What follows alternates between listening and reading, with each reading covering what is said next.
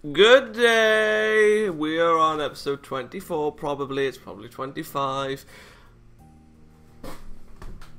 I did not forget to close the door. oh, mother trucking doors. Um, oh, God.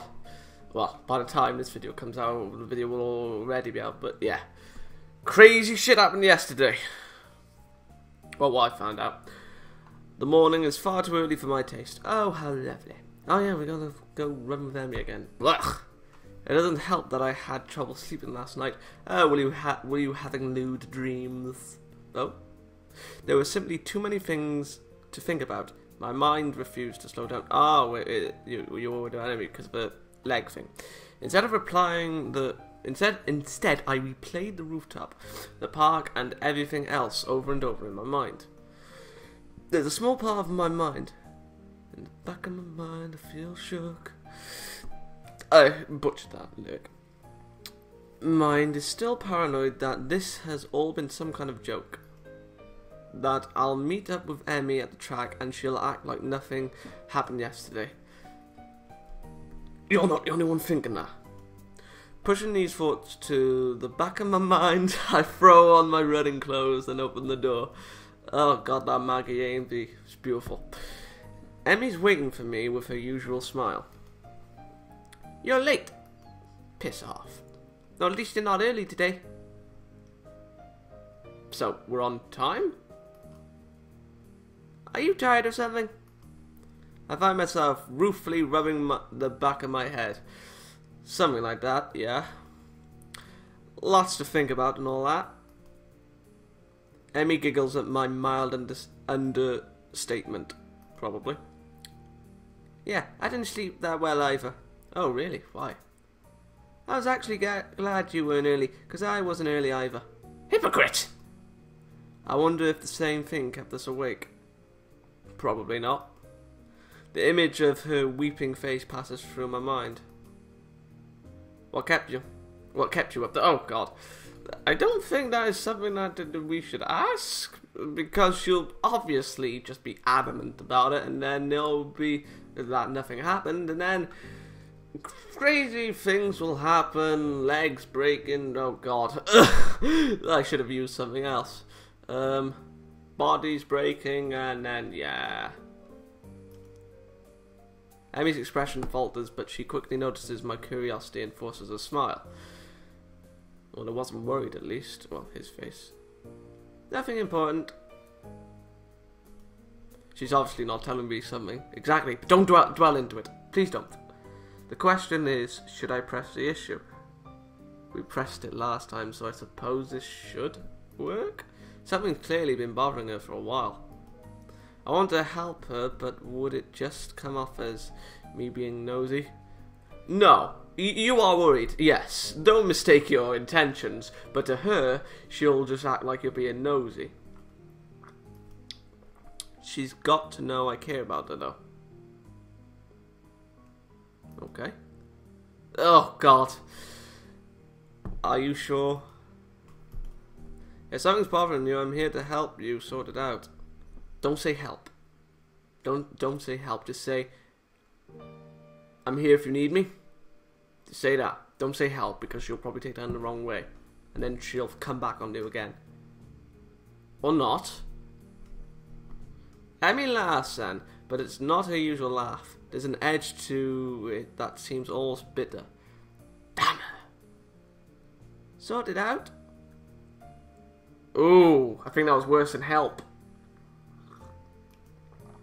I'm not sure it can be sorted out, Hisao. An almost grim smile crosses her lips. It's like a smile of resignation. Rough. I don't think you could help me anyway. That hurts. I don't want to say it that it hurts to her, but it does. Doesn't she realize I want to be there for her when things go wrong? Oh god, so many mushiness. Well, I won't push you on the matter then. But I'm here for you if you decide later that you'd like to talk about it. That'll never happen. It might help. Like, what the hell? No.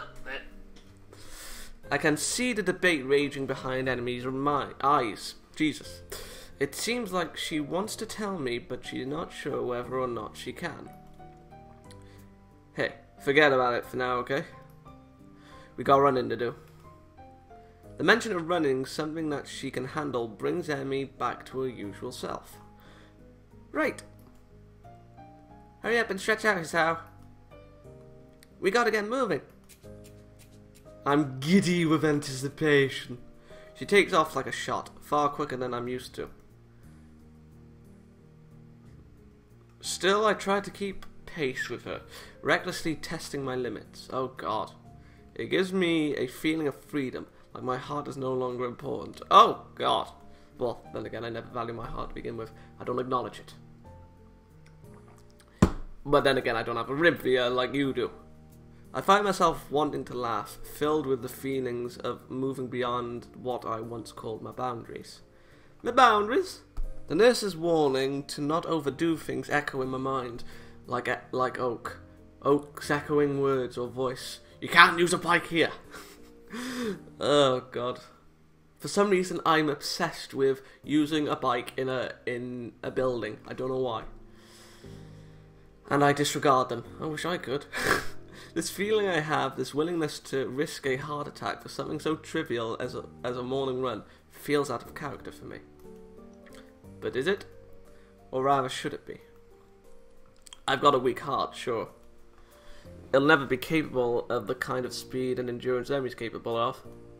Though I probably wouldn't be able to get that good even if I had a healthy heart. Oh god, please stop mentioning the word.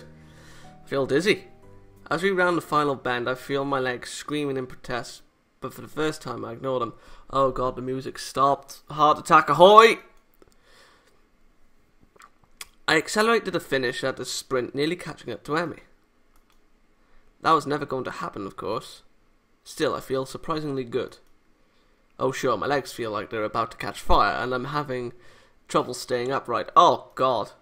But there's been a shift of some sort today. And it's all thanks to the girl grinning at the finish line waiting for me. That felt a little faster than usual. My comment is met with a grin and a shrug. Can't you think I would... Can't have you think I was going to go softer than you now, can I? But you managed to handle it just fine. Well, I couldn't have done it without you. Probably. I would have done it without you. Still feeling the high from the run and, and moved by a surge of gratitude, I seized Emi in a hug. Thanks. Really, I'm not just saying that. I mean, you're dead. Oh! Don't say that! She was taking pity on us last time. Don't say thank you, please. Show some self-respect. Emi seems flustered by my words, screaming uncomfortably. Don't be silly, Hisao. Oh god. Don't be silly, Hisao. I'm losing her voice. Damn it. My hatred for her is high. Someone had to haul you out of here, didn't they? And it's not like you're not doing anything for me, right? What? I need a running partner, remember? See, this, this is the motivation. She's not doing it because she wants to. She's doing it because she needs to. I shake my head, still pointedly not letting go of Emi, who stops squirming and merely looks up at me with a quickly deepening blush that almost seems out of character. No, that's not true. You wanted a running partner, but you didn't need one. Don't say that, please! If I hadn't shown up the day after the festival, you would still run, right? Oh god, please don't make me look like a cynic like I like you did in Emi's arc. Ugh. But it doesn't work the other way around. I only managed to make it out a few times before the festival. And without you, I probably wouldn't have made it out at all after that. I did not hear your logic. Emi smiles at me and prods my chest with one finger. She's killed us. You are pretty lazy, Hisao. Hey, I was giving you a compliment. Well, you're welcome, I guess. You guess. I'll pay you back somehow. What? What? Pay back? What? Oh god. Well, it can't be as worse as Infinite Game Studios episode zero. Thousand pounds a month for each of the girls. Two thousand a month. Oh, oh, uh, well, that's not necessary, you know. Thank God. I mean, I kind of like you, kind of. And being able to run with you in the mornings isn't exactly a bad deal for me either. So, as someone who gets so much praise, she seems uneased, unused to gratitude. I can't think of anything else to say, so we fall silent. I become aware of Emi's breathing, of the dampness of her clothing, and of the scent of her. Coming off of anyone else, it would stink. Lovely. Coming off of Emi, it fits her in a way nothing else could. Right. Her skin is cool, yeah, cool, slick with sweat, and the breeze causing goosebumps to rise. Almost without thinking about it, I lean down and meet Emi's mouth, which has already moved to meet my own. Her lips are soft, that kissing face is freaky, and she hums happily as we kiss, sending vibrations from her mouth to mine. There's a startling rightness to everything about this moment. We fit one another perfectly. The kiss ends, and I finally let my arms drop back to my sides. Back of my mind. Emi is smiling warmly at me and giggling again. Come on, Sam. We better go see the nurse. Oh, you son of a. Fair close your eyes. What? As she turns to begin walk. Eh, wait, what? It's her! As she turns to begin walking, she gives out a tiny yelp and stumbles forwards. Oh, nothing like having proof for being right. Emi. that sounded totally sadistic. I do apologise. To Emi, to any Emi fans that were offended by my sudden excitement. Of course, it, it, it isn't nice to see a girl in pain, of course, but yes, my hatred is strong for her. I leap to steady her and notice with some concern that she's favouring the same leg as last night. Your leg. you we, you dropped the ball on yourself, woman. Emi seems panicked and pushes away from me. Bollocks. It's fine. Hey, I thought he was the one that was going to have the problems, but no, it was you. Your leg. My expression must seem hurt because she has hastens to apologise. Sorry, sorry. Didn't mean to push you like that. Please. I was just lying through your teeth even now. She stumbles for something to say. It's nothing, really. What? I did click press, didn't I? Press Emi. Yes, I did. So shouldn't this affect it in some way? Like saying, right, we're going to nurse. No it's no buts. Come on. Checking you over. Come on. Hey, don't worry about it. She's so flustered I decide to shrug the whole thing off. You stupid. But there's a cold feeling in the pit of my stomach now that now that won't go away. I tried to step in and help her and she pushed me away. Smiling, I shove those thoughts to the back of my mind and concentrate on Emi. I just don't want you getting hurt, that's all. Well, she hurt herself. You don't have to worry about me, honest. Stubbornness. You're not. Who else is irritated by this? Yes, you say that, but I don't believe you. Then why are you saying it? Why won't you tell me what's wrong? Why are you saying it aloud? It's like she's. It's like she gets offended by my trying to help. What am I supposed to make of that? Tell the nurse. Oh, nursey boy! I'm still trying to sort out what happened on the track. I hope the window's fucking closed. Oh? I'm still trying to sort out what happened, uh, what happened on the track as we arrive in front of the nurse's office. Oh, for God's sake. Emi raises her hand to knock, hesitates, and turns to me smiling guilt- guiltily. Hey, can you do me a favour? She's to ask us to lie, you watch. But of course. Can you tell the nurse I'll see him later? You little!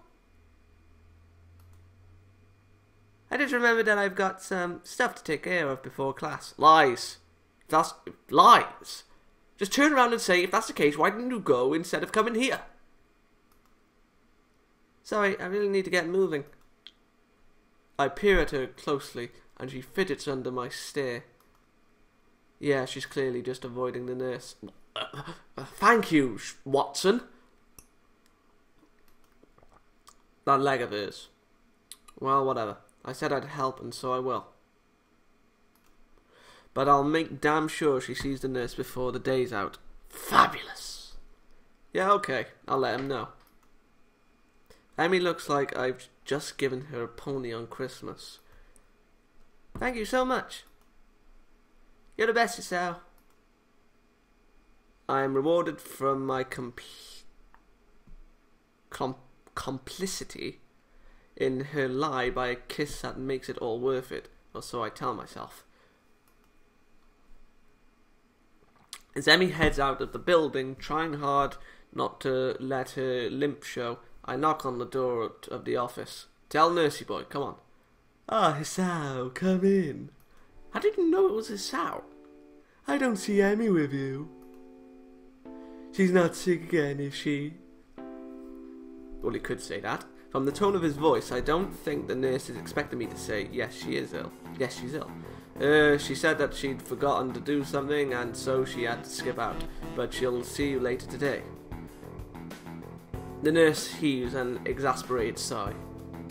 Honestly, that girl. Hmm? She's been avoiding me. She has! Well, Hisao, we have to tell him now. Yesterday she was in and out of here without even taking off her prosthetics, and now this. Well, at least it's not just en- it not just me. at me doesn't want worrying. That's a comfort, I guess. Still, I feel like I should say something about her leg. I said I'd lie for her, but she really needs to see him. Right, we should use that blackmail. Now that you mention it, she was limping pretty badly today. And last night as well. The nurse's eyes narrow at the words last night. And what exactly were you two doing last night? Well, it wasn't really nighttime when we got back, so. We were uh, on a date. the nurse raises his eyebrows as if surprised. Really? Interesting. Huh? Oh, nothing. His gaze turns thoughtfully and then he, he grins at me. You don't think you could use some of that boyfriend charm to get her to come see me today, could you? Of course. I was planning on doing that anyway. I think she's really hurt and just pretending she isn't. Mm, yes, she does that. Afraid I'll make her stop running. Will you? I don't like to, but if it's bad enough that she's been limping, well, I guess I'll have to see what's wrong for myself before I make that call. I see. Emi's Emi not allowed to run. Perish the thought. Perish the thought her health is in danger. I don't know if she'd be able to function without running. Can we confiscate those running prosthetics? I mean, is that allowed? Or is that against like human rights? No wonder she's reluctant to admit anything's wrong. Well, I'll make sure she sees you. Good. Oh, and before I forget. He grins at me in fa- in what feels like a vaguely threatening manner. Oh god, he, he deals with our pills, sir. We are screwed. Don't forget that I know what medications you're on. Oh. You be careful around Abby. Got it? Wow. He looks serious too. Of course, he's like a fatherly figure. For her, at least. Got it. Don't hurt Emi. Wouldn't dream of it. Grand. I'd hate for you to be late. Huh? Late, as in the late. Oh my god! oh. For all the boys out there, never date the girl that has a nurse for a father or a nurse for a friend or a doctor, whatever. Late, as in the latest sound the guy. He frowns briefly, dissatisfied. Oh god. Sounded better in my head. well, at any rate, get out of here before you miss your first class. You got things to do, I'm sure. Shoo! As I leave, I notice the nurse pulling out his phone and dialing a number. Michael, your daughter's being a pain in the ass again. Miyake. Oh, their mother. Yeah, that's obvious. That your daughter was a big, big selling point saying that's a mother, but I forgot the name. I'm so stupid. I'd better, I'd better head back to my room, or I really will be late. Hey, wasn't he supposed to check my heart rate?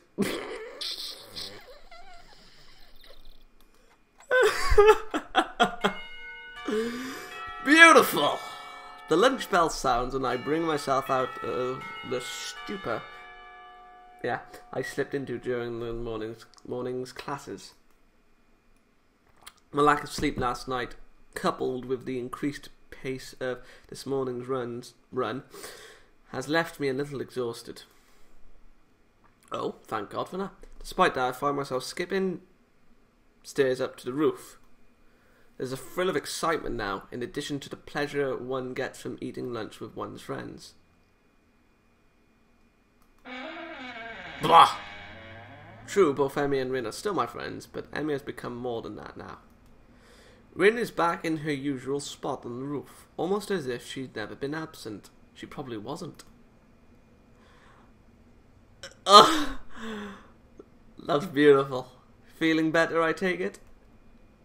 A raised eyebrow is my reward for speaking. Better than what? Uh, better than you felt yesterday? Rin gives my question some serious thought. I'm not sure. I think I might have felt rather good for some of yesterday, but it's all fuzzy. she downed all those pills. Too much cold medicine? Well, I was asleep, and that usually is pretty good. But I can't remember what it feels like to be asleep, because I'm not conscious for it. It's a real problem. Then again, if I knew how good it felt, I might not sleep anymore. But this way I keep trying, so I guess that's how I can keep from being overtired.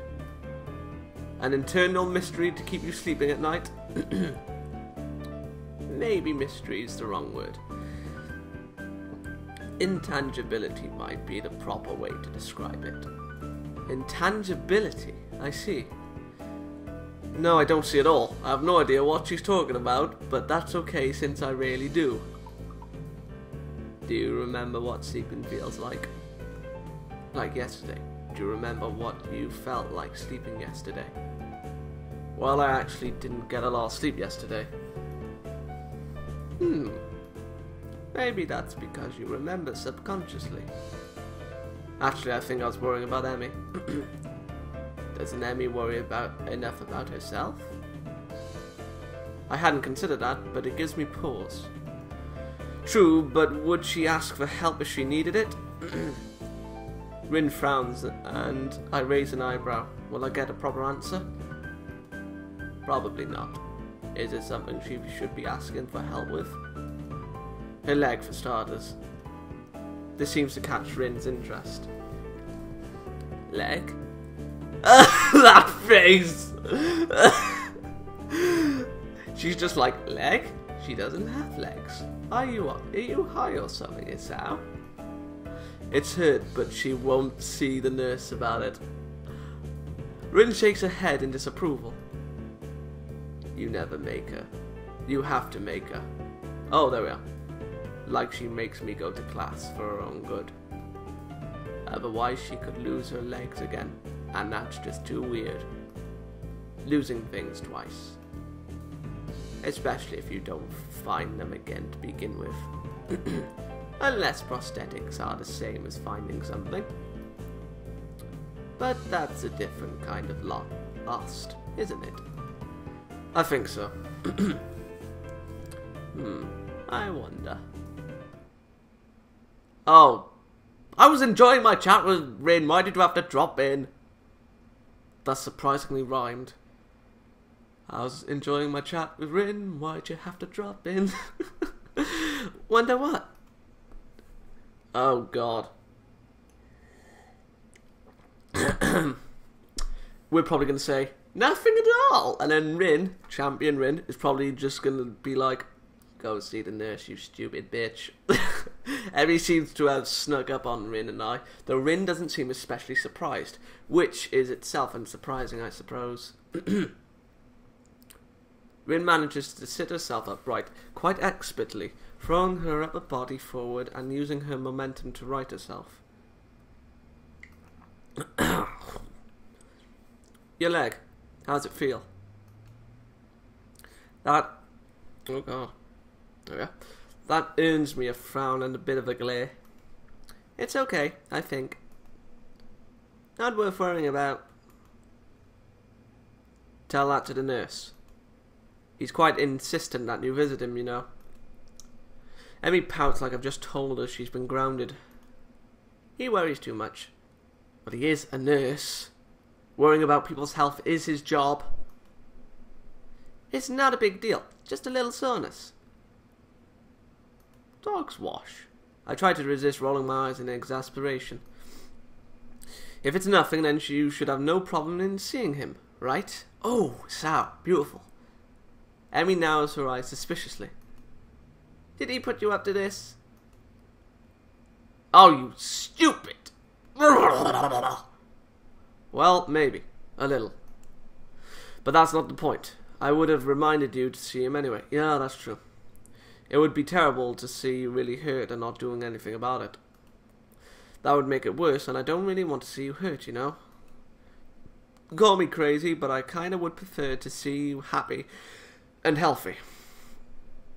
With each statement, Emi frowns fades a little more, until eventually she's grinning, al- albeit a little shyly. Albeit. Well, if you're going to put it that way, then I guess I'll have to see him. Otherwise, you'll keep worrying and then I'll never hear the end of it, right? Exactly. That's right, I'll keep bugging you about it, and that might put a damper on our dates. How's the food, Hisao? Talk to the nurse, Emi. How was your day, Hisao? Talk to the nurse, Emi. Hisao, I think I'm ready to go all the. Oh! Champion! Talk to the nurse, Emi. See? It doesn't work that well. Oh, that final one. Champion. Emi giggles at my high pitched rendition of her own voice and gives me an affectionate shove. My voice isn't that high, jerk. I thought it was pretty accurate. oh, is it frozen? No. Emi and I stare at Rin for a while before I burst into laughter. Emi crosses her arms and huffs mock offended. You're both jerks. Such vile ca- calum- calumnies for you, young woman. What the frick? I'm stunned that you would call me, of all people, a jerk. Honestly, I just. I don't know what to think. Emi sticks her tongue out at me. you ass. So, Rin, how's that art club these? How's the art club these days? Rin seems Rin seemingly as surprised by the situation and sudden change of topic as I am. I take him it take takes a minute to think before answering. I believe it's okay. Although Nomiya keeps telling me to work harder. But I don't think he understands my methods. He's always stuck, st- struck me as slightly creepy. Rin ponders the statement for a while. I've never really noticed. But I don't pay much attention to him most days, so maybe that's why. How often do you meet? Thinking of joining us out? Me and Art? No, don't mix. That's a bloody shame! I could draw my beautiful characters. Uh, oh god. I could turn Life of a Sinner into a manga. Oh, that'd be glorious. But of course, that would never happen. Me thinking of wanting to turn into an anime. Now that is just like. That'll never happen. what? Nah, I've already been. I've already decided to join a club. Science club. Really? Which one? Well, it's not really much of a club, to be honest. Oh, you joined the tea club. Ooh, there's a tea club? No, I uh, joined the science club. I think. Back up, tea club? I wouldn't mind that. Sitting down and drinking tea with their biscuits. Amy looks highly confused. We have a science club? Uh, not really. It's just me. It's not, that's not a club. That's sitting in your room reading books. No, I mean, it's just me and Mutou. I'm just the only student so far. Mutou? Really? A thought strikes her. Oh, is that what you were talking about yesterday? Your meeting with Mutou? Yeah, that was our first meeting, I guess. Emi giggles. Nerd. Hey. Hey, I can't help being clever. You bath plug. You know, I could have used your help years ago. You should have had a heart attack earlier in, your, in life, Sal. Killer! I laugh and then realise this is probably one of the very rare times I've laughed about my heart attack. Black comedy at its finest. Hindsight. Yeah. The ringing of the bell ends our conversation. Hmm, guess we better go. Yeah, I guess so. Come on, Rin, you too. Rin has apparently begun to doze off, so Emi gives her a sharp bump. I almost had it. Sorry, but you need to go to class. I disagree, but maybe if I nap in class, I'll get it this time. Change in location is sometimes helpful for that kind of thing. Neither Emi or I bother asking what it is. The feeling when you sleep. That's what you were talking about. As we arrive at my class, Emi gives me a quick kiss and heads down the hallway, Rin in tow. Oh, for the love of God, I'm. Oh, God. I'm gonna end it off here. And I'll be back after I get my water. Good day! I hope I put this in the right folder. I did! Good day!